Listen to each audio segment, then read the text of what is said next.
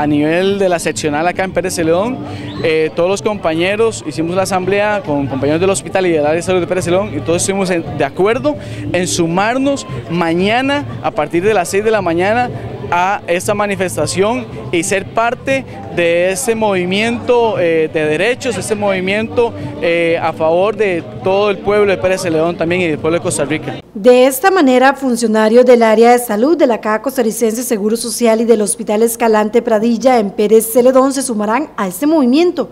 ¿Qué áreas se verían afectadas? Ok, en el hospital es todo lo que es laboratorio, eh, nutrición, mantenimiento, la parte de farmacia, y eh, departamentos de enfermería también del área de salud de Pérez Celón y del hospital. No, no se sabe todavía si todos se van a unir o solo una parte.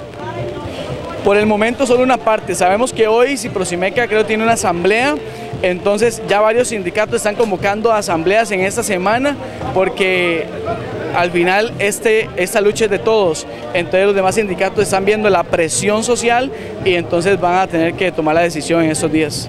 La intención es desplazarse al puente sobre el río Gilguero. vamos a, estar centrados en el hospital a las 6 de la mañana y nos movilizamos para acá, para el puente, apoyando. ¿Caminando se vienen? Ah, sí, caminando. Venimos estar todo el día acá también?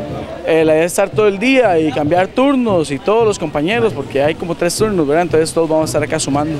Así que este martes de seguir el movimiento se sumarán.